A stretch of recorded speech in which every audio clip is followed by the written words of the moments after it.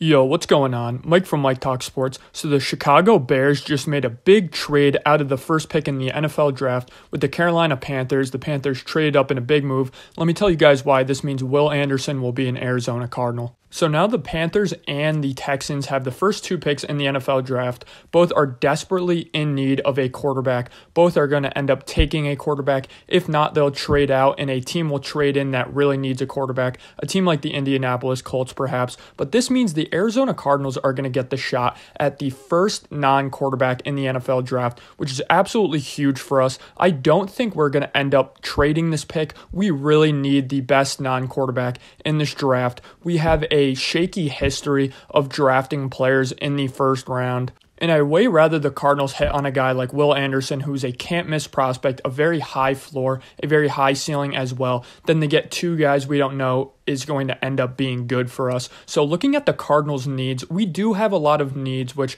I understand if you wanted to trade this pick, we need an interior defensive lineman. We desperately need an edge rusher, which Will Anderson is one. We need a cornerback. We really need a backup quarterback. We need offensive line help really at every single position at the offensive line. And we do need a higher ceiling at the running back position. But again, guys, Jonathan Gannon comes in here running that Vic Fangio cover four scheme.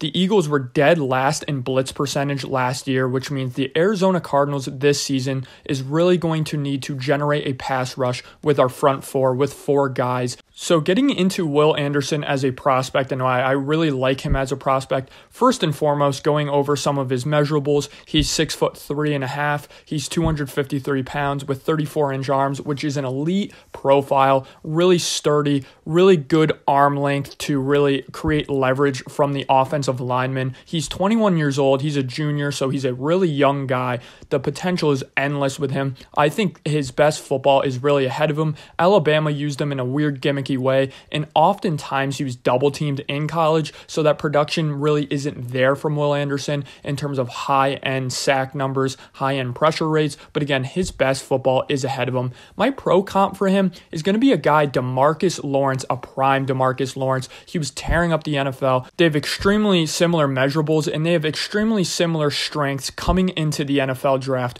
They have a very good physical profile, not an elite top five physical profile, but still a very good physical profile nonetheless. Let's get into some strengths and weaknesses for Will Anderson now. He has very good speed, great lateral quickness and agility, very good acceleration, elite burst coming off of the line. He's a guy who's really good at finesse moves, but make no mistake about it, Will Anderson is a bull rusher. He's going to come into the NFL as a bull rusher. The main tool and the main way to get to a quarterback isn't a straight line. So bull rushers are the best rushers in the NFL. Obviously, you need a great tool belt to succeed in the NFL at the next level, and that's something that Will Anderson does have. He has a very nice floor as a finesse pass rusher, and he has a very high floor as a bull rusher. So he's going to come into the NFL right away and have a lot of leeway in terms of the time it's going to take him to develop those finesse moves because he's already an elite bull rusher. So he's not going to have to rely on those finesse moves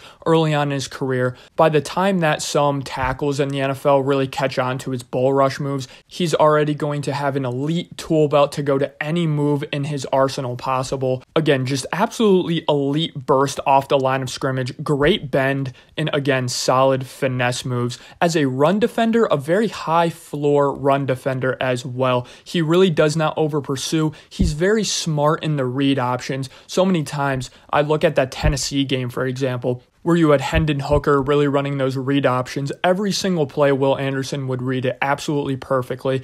Really high football IQ and a very high character. That's something that this Jonathan Gannon era is really going to emphasize high football IQ and high football character. Will Anderson has been absolutely killing the interviews at the combine. I love what I've been hearing from Will Anderson. If the Arizona Cardinals end up trading this pick to a team like the Indianapolis Colts, we really risk Will Anderson going to a team like the Seattle Seahawks sitting at five. We don't want Will Anderson terrorizing the Arizona Cardinals in a Seahawks uniform for the next 15 to 20 years. We really want an elite high end pass rusher. You look at a team like the 49ers, who is in our division, they just drafted Nick Bosa not too long ago, an extremely high end pass rusher. You look at a team like the Rams in our division, they still have a very elite high end pass rusher like Aaron Donald. We need that high end pass rusher on our team. We really haven't had one since Chandler Jones was in his very prime even then he was kind of aging and didn't have that elite physical profile that Will Anderson is going to bring to the table for us. And again, guys, he's just a not miss prospect. The Arizona Cardinals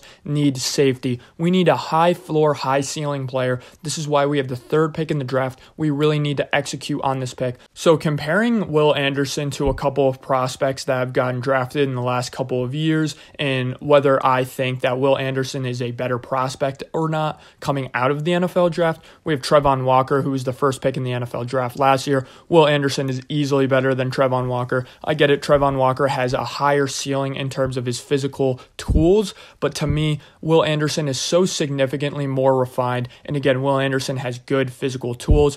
Aidan Hutchinson, to me, they are very similar prospects, but to me, I like Will Anderson's physical tools slightly more. And to me, their tool belt is just about the same in terms of finesse moves and in terms of a bull rush I like Will Anderson more. So give me Will Anderson over Aidan Hutchinson. Looking at Kayvon Thibodeaux now, again, Kayvon Thibodeaux has slightly better physical tools, a slightly higher ceiling per se, but to me, Will Anderson is a bit more of a fluid athlete. Sometimes when I watch Kayvon Thibodeaux, he's a little bit too upright and a little bit too stiff. To me, Will Anderson is a guy who plays with a significant amount of fluidity. So to me, Will Anderson would have been the number one pick in last year's NFL draft. Looking at a guy like Chase Young. Chase Young I think it's about an even comparison. Now, Chase Young is a very different prospect than Will Anderson. Chase Young has incredible physical ability, better than Will Anderson. But to me, Will Anderson is more refined, more fluid of an athlete, and just more of a tool belt going into the NFL draft. So I think they project pretty evenly, and that's saying a lot considering Chase Young was considered a blue chip prospect, which I would consider Will Anderson as well.